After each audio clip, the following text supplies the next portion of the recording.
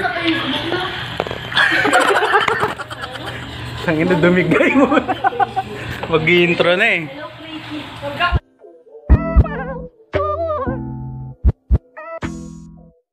What's up? Mga baliw. Welcome sa vlog. Ayan o. So ngayon, ang content naman natin ngayon, magmamagic tayo. Pakikitaan natin sila magmagic. So, ano, ready na kayo?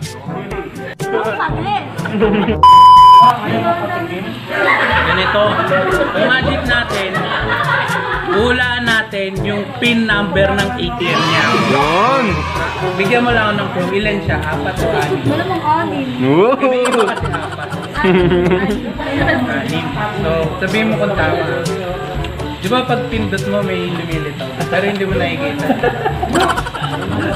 Huwag mo sasabihin sa kanila kung tama. Ay, huwag mo sabihin sa kanila kung ano yung number.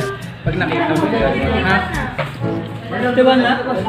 Sabi, tatanungin kita kung tama yung pin. Sabihin mo lang, oo, at tama o mali. Ha? Anim, di ba? Wala mga Tama.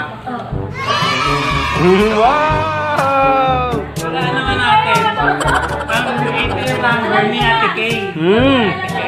Ate Kay, Mama G ang Dala, talaga. Iba naman to.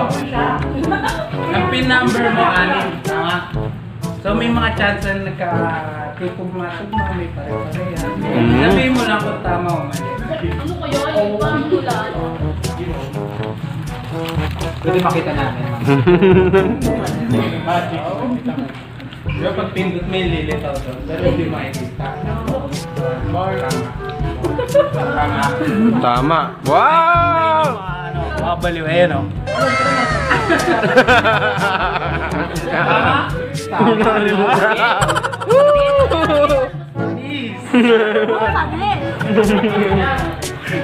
Patingin. Ayan na, na. Ayan.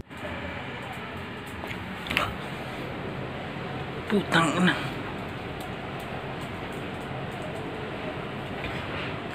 Nakatulog ako. Puta, hindi na ako napag-outro ah. Ah, so yun lang mga baliw no.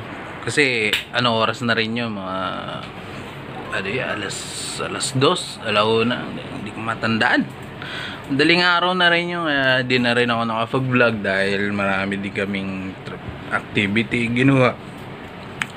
So, yun na lang. Abangan nyo yung next video ko. ah. Maraming maraming salamat sa panonood nyo at pagsuporta. Please like and share this video and subscribe. Maraming salamat. Hanggang sa muli. Pagising sa umaga Ako'y nananagip na magawa ko ang mga naisip ko Kapag ako'y nakaangat at lumulutang Mawawala